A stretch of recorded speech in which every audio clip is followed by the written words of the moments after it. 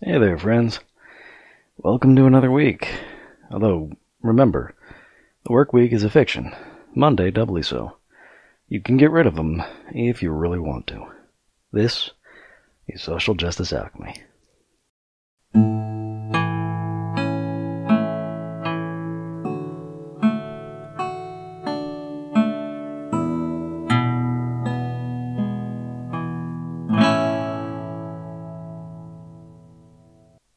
Don't know about you, but for me, this has been a week.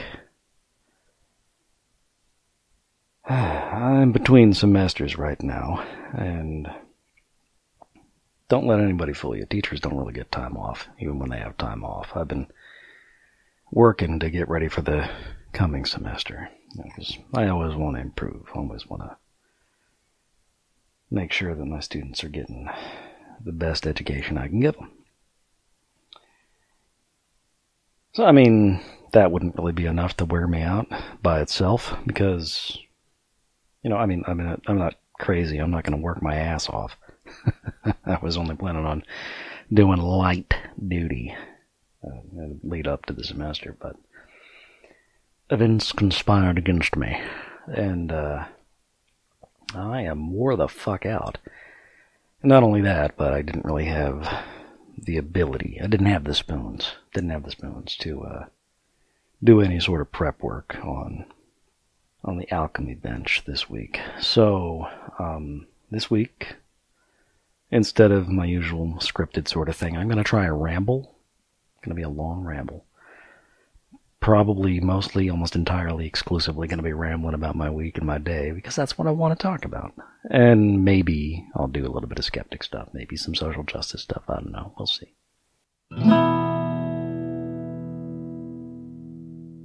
I am tired. I mean, today alone would have been enough to wear me out. Gonna level with you. I am typically a night owl and sleep much of the day which is not a great thing, you know, because most things that need doing need doing during the day, you know, going to the bank, post office, things like that. And plus, you know, I don't know what my schedule is going to be this semester. Uh, it's, I know I'm definitely going to be teaching two classes at one school. Hopefully, I pick up a few more at the other one. But um, I don't know exactly what it's going to be. But I'm, I've been trying to work my way back to, you know, getting up in the morning unsuccessfully, very unsuccessfully. But uh, last night, you know, I, I went to bed at you know, 4 a.m.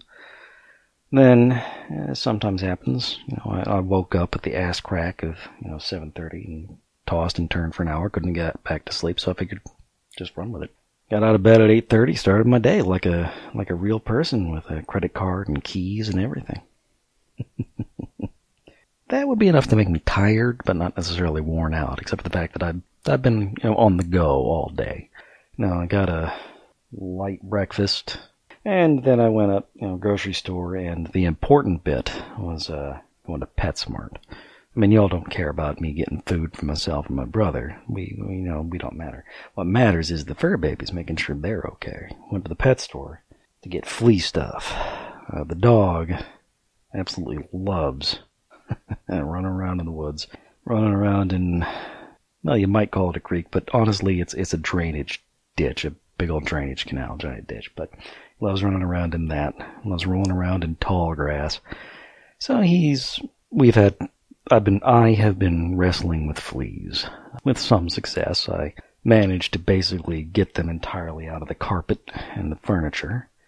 But baby girl hair has just been suffering something terrible. I have had less luck defleeing her the medicine I picked up, you know, you squirt on the back of her neck, it didn't seem to do much.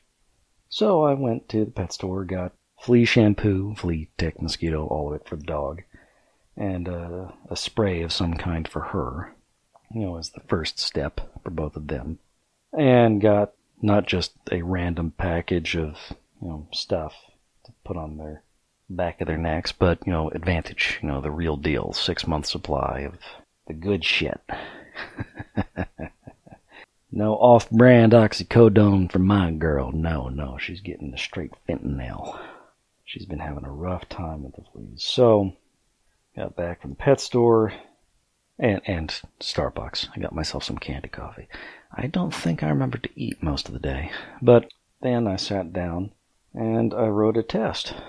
Uh, you know, you're supposed to write the test first, then you go back and do the lesson stuff. The stuff I managed to get done this week was uh, course outlines and the class scheduling. I've got the, I've had the class schedules nailed for the last uh, couple semesters. Not a problem there. Course outline, I decided to revamp that because I want to redo the uh, videos I have, YouTube videos, lectures, online lectures for them to watch at their leisure.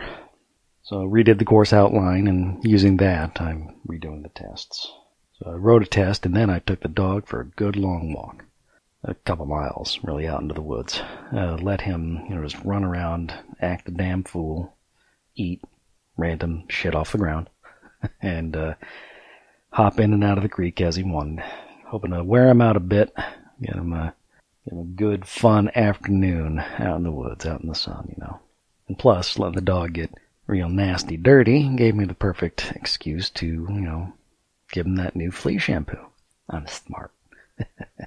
so, yep, yep, that was that was a good hour and some out in the woods. That was good for him and good for me, I think. Good for both of us. And then, you know, I showered the dog. That's always an adventure. Don't know if I'm any good at showering a dog, shampooing a dog, but uh, I know I am crap at drying a dog. I mean, it's you know his favorite part of the shower. He had no problem with it. It's the easiest thing. It's just the towel. The towel was sopping wet before he was dry, and uh, now it's going to be a little while before it's really safe to sit on the sofa. but uh, yep, I I flea shampooed him up real good. Hopefully that'll help him with that. And then I used this other spray I got on Babe Girl. She hated that, but hopefully it'll uh, help her with her fleas. She's been really itchy, you know, scratching a lot, and I don't care for it. On the plus side with her, she's finally ventured out of my bedroom into the wider apartment, confronting the dog. She's been voluntarily stuck in my room for the last couple months, really, since we got the dog back in July, August. Oh, barely, really didn't like that. So basically, I forced her out of the room.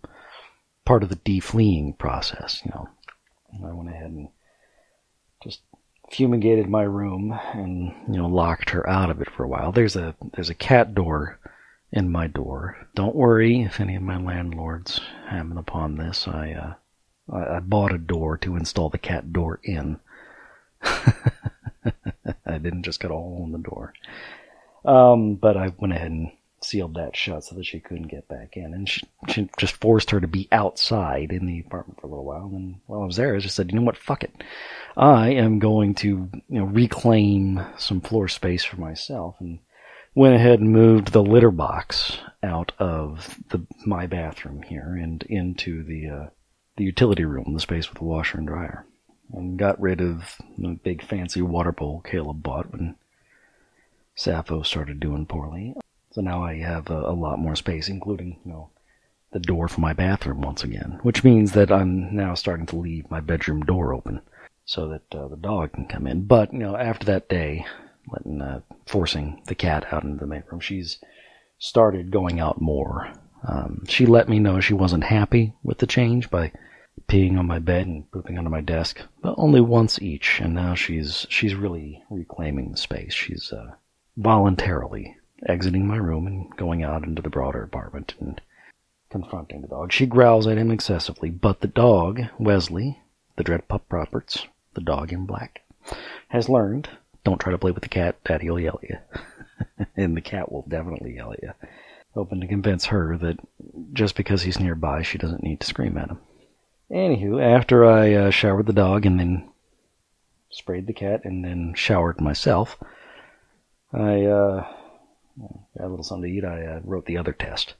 And finally got the bright idea to write the key for the test at the same time I was writing the test so that I would be able to really justify the points I was putting on each problem.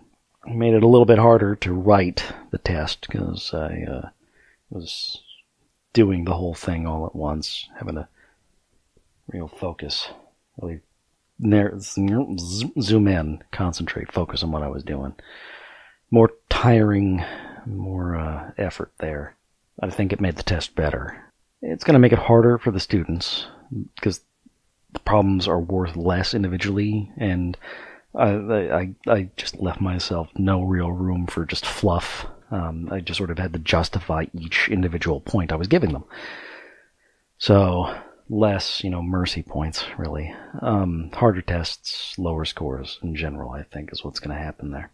But I also diversified the test a bit. Um, different kinds of questions than I normally do. You know, fill in the blank which is a very small portion, very small portion of the test, but, um, you know, 10 points out of 100. Not going to make a huge difference there. But I think that test is better overall. The first test I did in the afternoon, before the walk, uh, I did not do that. I don't think it'll be as good. I'm going to have to go back and go ahead and do the key, rejigger the points, and it'll probably end up making the test longer. But we'll see. We'll see. I don't know. I think that'll make the test better overall. But yeah, that was my day. Eight thirty to seven o'clock. You know, just working. I mean, that, that that walk with the dog. You know, hour, hour and a half. So I mean, I wasn't really working, but I wasn't exactly sitting down. I was a walk. You know, three, four miles. I don't know how fast I was walking, but you know, good long walk. Uh, but that was the day. You know, reason enough for me to be tired. But during the week, the week that came before it also kicked my ass, and I think explains part of why I was generally more tired today than I would have been, even with, you know, just the few hours of sleep. Migraines. Ugh. Like I said, I didn't really have the spoons. Yeah, I had some, I had a really bad migraine. And one small migraine before that. I don't know if you know anything about migraines, but, uh, um, they have what's uh, called predrome and postdrome. And then when the migraine itself is happening, syndrome right? Um, predrome is sort of, it can be, for a really bad migraine, you can have like a slow buildup over one or several days where you're just feeling out of sorts and not great. And then the postdrome is sort of the come down as, or, you know, come back up as you recover.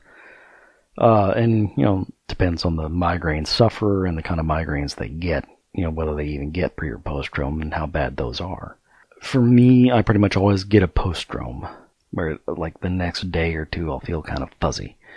I, I've never really noticed a predrome, but that might just be because you know I'm not really looking for it the way I am for the symptoms of the migraine itself. You know, I'm like I'm just paranoid about uh, that spot in my vision. Is that because I just looked at a bright light, or is that the beginning of the uh, the scotoma? Basically, the the blurry blindness in the center of your vision, the aura. But yeah, I mean, the migraine I got in the middle of the week was awful. I, I completely, well, I didn't completely lose it, but I mostly, almost completely lost all language. One time, you know, like five or six years ago, I completely lost language. I couldn't speak, read, or write at all. And after several hours, um, I still real struggle to even put words together in any sort of coherent order. This time, not quite that bad. I was still able to struggle and uh, comprehend language, but not really. Not really. It was, it was really, it was a real struggle to read, to write, and to to understand spoken language. You know, when the the migraine started to get real bad, this was Tuesday, Wednesday. I was like, okay, um, I'm gonna like I'm I'm having trouble reading and writing. I'm just gonna go ahead take the dog for a walk. You know, I put in a podcast, can barely follow it. Uh, it was Skeptic's Guide to the Universe. They were talking about China landing something on the far side of the moon. It was, you know, it's a neat achievement. Yeah, you know, and I could barely follow it. You know, the pain wasn't too awful, but I just I had a lot of trouble thinking. And then you know, the next couple of days, I was really out of sorts. So yeah, migraines can be debilitating. And for me, you know, sometimes I can go months without migraines and then sometimes you go bam, bam, bam. I've noticed sometimes it's food that triggers it and sometimes it's just stress. I haven't really noticed any stress. I mean, it's the holidays, right? But maybe it was just me trying to get back into the diurnal thing, you know, wake up in the mornings. That might have been enough. I don't know. Still, that was, that was a week. That was my week. Um, trying to ramp up for the next semester and having just a really shitty migraine. And then, but today, today was a good day. Today was a good long day, and uh, I feel really good about what I did today. Those tests, I feel, I feel good about them. I, I, I like I said, I want to go back and write the key and, and lay out a rubric for how I want to score every problem on there, which will probably end up making the test harder and longer. But uh, I, I want to go ahead and do that soon, very soon. So yeah, that was my day. That was that was my uh, that was my Saturday ramble.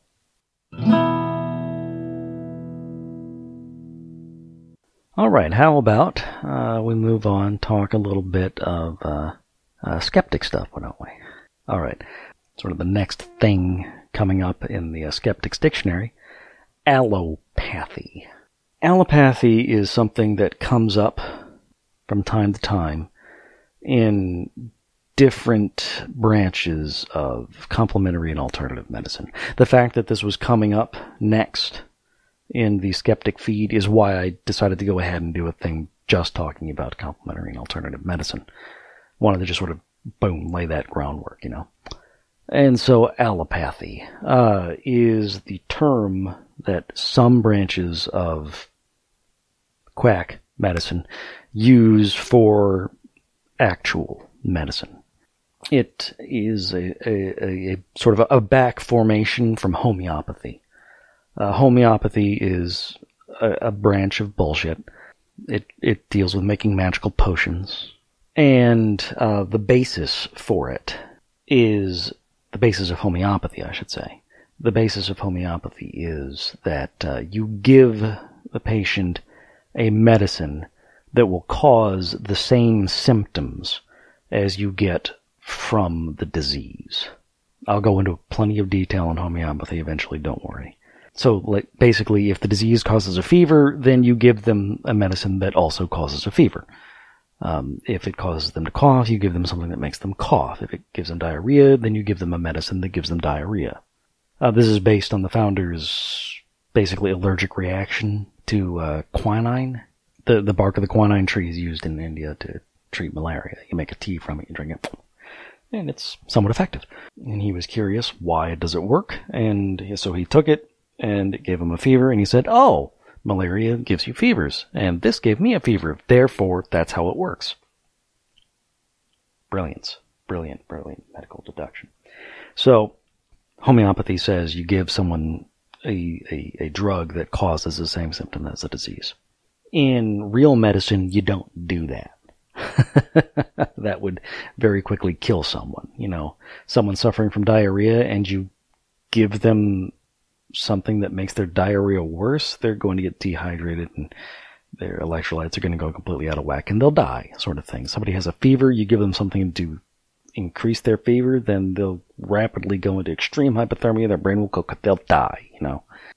Often, a big part of real medicine is managing symptoms quacks in the CAM fields, the various branches of the, the, the bullshit, med- the bullshit not medicines, uh, claim that that's like all, well, some quacks claim that that's all that real doctors do is manage symptoms, not cure diseases. But a big part of medicine is managing symptoms. You know, if you have a chronic condition that can't be cured, you know, an, an, an autoimmune disorder, for example, or genetic thing. Um, it'll never go away, but you can manage the symptoms, right?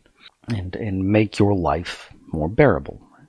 If you've got an injury, you know, it's like just completely fucked up a nerve or back, you can manage the pain, you know, things like that. So yes, um, real medicine does deal with managing symptoms. You know, you like a cold. A cold is a viral infection. There's there's nothing you really can do for that except you know, wait for your body to fight off the cold. In the meantime, you manage the symptoms. You know, you manage the fever, you manage the uh, congestion and the coughing. So, that is allopathy, giving a, a drug that combats the symptoms of the disease. So, it's, it's not used in real medicine. The term allopathy, uh, there's just no need for that. You, you have the drugs that attack the cause of the disease, and then you also have drugs that help you manage symptoms. So if you hear someone talking about allopathy, don't listen to them about, you know, really anything else. Because they're probably coming at it from homeopathy or naturopathy or some other brand of bullshit. And they don't necessarily, they probably almost certainly don't know what they're talking about. If they talk about real medicine as just allopathy. If they claim they're just treating the symptoms, then they're definitely completely full of shit. For something like the common cold, yeah, you really only treat the symptoms because that's all you need to do. There are antiviral drugs you can take to fight viral infections like a cold, but that would be like spanking a baby with an axe or dropping a nuke on a village. It's just not something you would need to do for a cold. Unless, you know, you're one of the people with a, a severely damaged or suppressed immune system or something like that, you know. Then you would need to uh, go after a cold with something more severe. But, you know, a, a healthy, you know, mid 30s person, nah, nah, just drink plenty of fluids. If you're really miserable, take some cold medicine, right? You know. and and I gotta say, managing symptoms is not nothing. But uh, let's go ahead and move away from the the quack bullshit. Let's move on to some social justice. In fact, let's stick with the uh, allopathy. There's a, a similarly formed term that is not bullshit. It's allistic. If you spend time around autistic people, you might hear the term allistic. A-L-L-I-S-T-I-C. It's the term used to talk about people who aren't autistic. People who don't have, you know, the, the different sort of neural pathways, neural setup, cognitive niceties that uh, we autistic people have. So, uh, allistic is a term that is uh, often used within uh, the community and you know their their friends and loved ones to talk about uh, people who don't have autism. It's it's it's a perfectly neutral term, right? But you can occasionally see allistic people lose their shit. That's like just sort of like how you know some cis folk uh, get all huffy at being called cis. It's like I don't need a label. I'm the normal one. Some people lose their shit at being called allistic. uh, sensitive little babies they are. Uh, you know, it's just allistic means um, another term is neurotypical. You know, a person with you know an average sort of uh, functionality to their brain. So autistic, allistic is uh, I don't know that allistic comes from. Um, in fact, I'm going to look up real quick.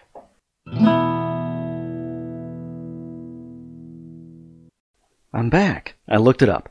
The, the, the term allistic has the same origin after a fashion as allopathy. Uh, homeopathy means same symptom. Allopathy was meant to mean other symptom. So homeopathy, uh, the drug causes the same symptom as the disease. Allopathy was meant to say the drug causes the opposite symptom of the disease. For allism and autism, um, autism, um, like auto, aut means self. Um, not sure. I, I'm not going to dive too deep into where that comes from. It's probably some real hinky bullshit. But the, the person who coined the term allism or allistic, he was doing it as a as a parody, I think, once upon a time, but it's, you know, a perfectly valid coinage. Aut, self, allo, or allos means other, so allistic, you know, another kind of brain. But I've heard allistic, I've also heard neurotypical. And then for autistic, you also have neurodivergent.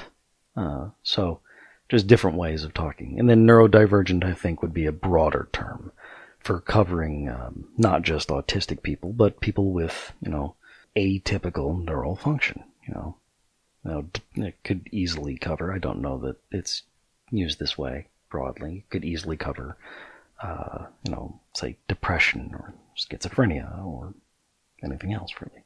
So that is allistic and neurotypical as opposed to autistic or neurodivergent.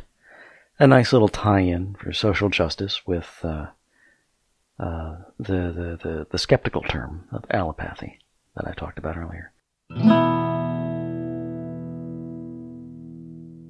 And then, of course, I got a good long ramble in talking about uh, uh, my day and my week, which, yeah, it was good. It was good. I may go with something like this moving forward. You know, just chat about how the way things have gone and then talk a little bit about uh, a little bit of vocab. I don't know. I kind of like this. A little bit more relaxed. But I definitely, definitely didn't have it in me to uh, get any sort of work done, which was my top priority, and script something this week. But still, I, I'm feeling pretty good about the way this has turned out. All right, uh, that'll do it. I think I'm going to go ahead and call it for the week. I'll edit this down a bit, obviously. And uh, thank you for stopping by, uh, letting me talk at you for a little bit. Uh, if you like what I'm doing here, um, please, you know, like it on the YouTube, give it the old thumbs up, or hop over to iTunes and give it uh, a nice little review, leave a nice comment for me if you can. If you want to talk back at me, you can uh, find, obviously, the YouTube channel, Social Justice Alchemy. You can leave comments under the videos. Or you can hunt down the blog. Um, that's surgoshan.blogspot.com, S-U-R-G-O-S-H-A-N, link in the thingy blogspot.com, where when I have been scripting these, that's where I put the scripts. Okay, if you're looking for something completely different, I take part in a real podcast. Uh, it's a D&D podcast, Dungeons and Debacles, um, hosted by my friend Kevin. Uh, we're playing an evil party, uh, looking to unleash an ancient red dragon to, to destroy the world of Suel. It's a heck of a lot of fun. We've been we've been uh, really enjoying it. Um, we have really hit our groove, I think, uh, in role playing and gameplay, all of it, all of it. It's a it's a heck of a lot of fun. Dungeons and Debacles Podcast.com. Uh, I really like that. You can also find that on iTunes. Dungeons and Debacles, heck of a lot of fun. All right, uh, that has been it for Social Justice Alchemy. I'm your alchemist, John Brockman. I'll see you next week.